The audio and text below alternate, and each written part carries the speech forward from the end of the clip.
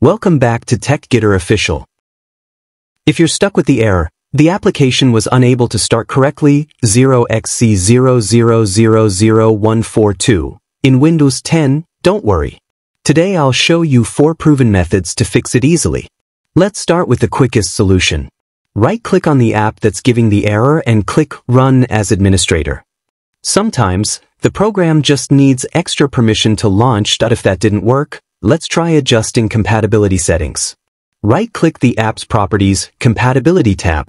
Check the box that says Run this program in Compatibility Mode 4 and choose Windows 8.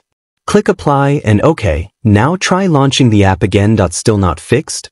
The issue might be with your system locale especially if your Windows is in a non-English language. Here's how to fix that. Steps. Press Windows plus R, type Control International CPL, and hit Enter.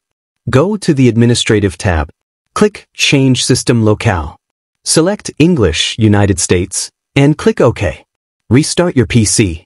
Once your PC restarts, try opening the app again. This method works really well for this error. Still getting the error? Let's fix it by re-registering all the DLL files used by the app. Steps. Right-click your app, click Open File Location.